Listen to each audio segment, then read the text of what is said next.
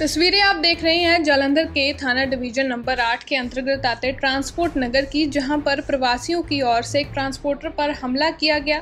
साथ ही मुलाजिमों को घायल करने का भी समाचार प्राप्त हुआ है। इस घटना पर सिख संगठनों के सदस्यों ने रोष ज़ाहिर किया है। घटना की सूचना मिलते ही पुलिस मौके पर पहुँची है और जाँच शुरू कर दी है।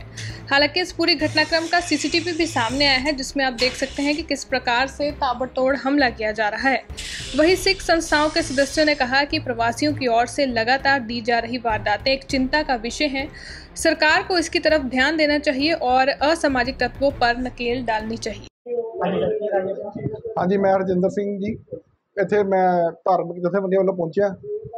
ਸਾਨੂੰ ਪਤਾ ਲੱਗਾ ਕਿ ਸਾਡੇ ਇੱਥੇ ਇੱਕ ਸਰਦਾਰ ਭਰਾ ਦੀ ਟਰਾਂਸਪੋਰਟ ਹੈਗੀ ਹੈ, ਜਿੱਥੇ ਸਵੇਰੇ ਪ੍ਰਵਾਸੀਆਂ ਨੇ ਆ ਕੇ ਝਗੜਾ ਕਰਨ ਦੀ ਕੋਸ਼ਿਸ਼ ਕੀਤੀ ਹੈ।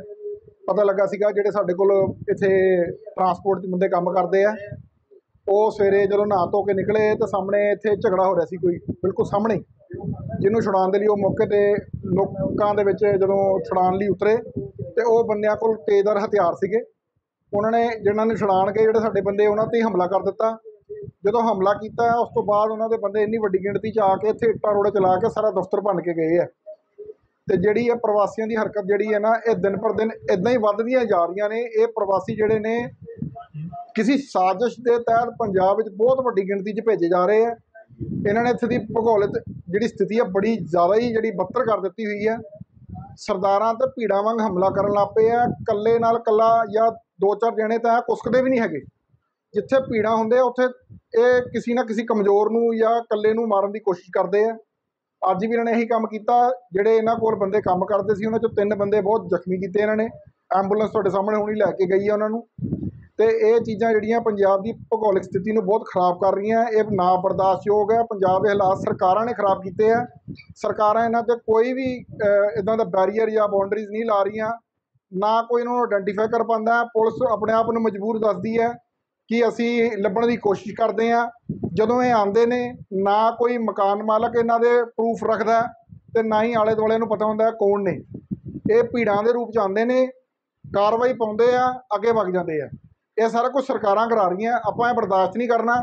ਜਦੋਂ ਕੋਈ ਵਧੀਕੀ ਹੋਈ ਤਾਂ ਸਰਕਾਰਾਂ ਜ਼ਿੰਮੇਵਾਰ ਹੋਣਗੀਆਂ, ਆਪਾਂ ਲੱਤਾਂ ਤੋੜਨੀਆਂ, ਬੰਦੇ ਮਾਰਨੇ ਫਿਰ ਆਪਾਂ, ਬੰਦੇ ਦੇ ਪੁੱਤ ਬਣਾਵਾਂਗੇ ਪੂਰੇ। ਮੌਕੇ ਤੇ ਪੁਲਿਸ ਆਂਦੀ ਹੈ ਪੁਲਿਸ ਕਹਿੰਦੀ ਅਸੀਂ ਤਫਤੀਸ਼ ਕਰਦੇ ਹਾਂ ਤਫਤੀਸ਼ ਕਰਨਗੇ ਜ਼ਰੂਰ ਮਗਰ ਉਹਨਾਂ ਦੇ ਹੱਥ ਉਨੀਆਂ ਪ੍ਰਾਪਤੀਆਂ ਨਹੀਂ ਹੁੰਦੀਆਂ ਜਿੰਨਾ ਜਿਹੜੇ ਲੋਕਲ ਲੋਕ ਨੇ ਜੇ ਉਹਨਾਂ ਵੱਲੋਂ ਕੋਈ ਗਲਤੀ ਹੁੰਦੀ ਜਦੋਂ ਉਹ ਫੜੇ ਜਾਂਦੇ ਆ। ਇਹ ਤਾਂ ਲੱਭਣੇ ਵੀ ਨਹੀਂ ਇਹਨਾਂ ਨੂੰ। ਇਹ ਹੁਣ ਦੇਖਾਂ ਪੁਲਿਸ ਕੀ ਕਹਿੰਦੀ ਹੈ ਪੁਲਿਸ ਦੇ ਆਪਣੇ ਵਸ ਕੀ ਹੈਗਾ।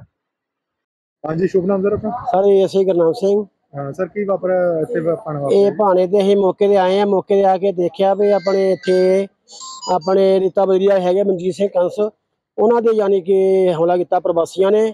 ਪ੍ਰਵਾਸੀਆਂ ਦੇ ਹਮਲਾ ਕਰਨ ਦੇ ਉਹਨਾਂ ਦੇ ਜਿਹੜੇ ਸੀਗੇ ਕਾਮੇ ਉਹ ਯਾਨੀ ਕਿ ਜ਼ਖਮੀ ਹੋ ਗਏ ਆ।